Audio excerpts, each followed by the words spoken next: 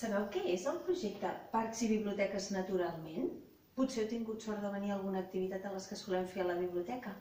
És un projecte en el que volem apropar a la gent de Tordera doncs, a la natura i al patrimoni natural que tenim, sobretot al Parc Natural del Montnegre i el Corredor.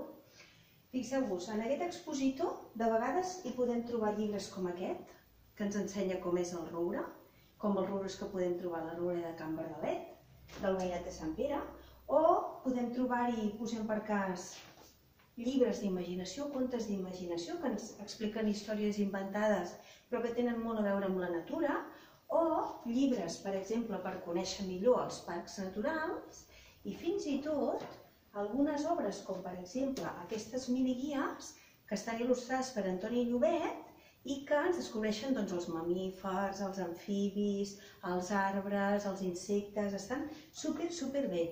Si us interessa, mireu aquí, en tinc algun altre, llibres o contes d'imaginació. Si us interessa algun lloc, algun lot, perdó, d'aquest fons, d'aquest material, us el preparem, els llibres que vulgueu.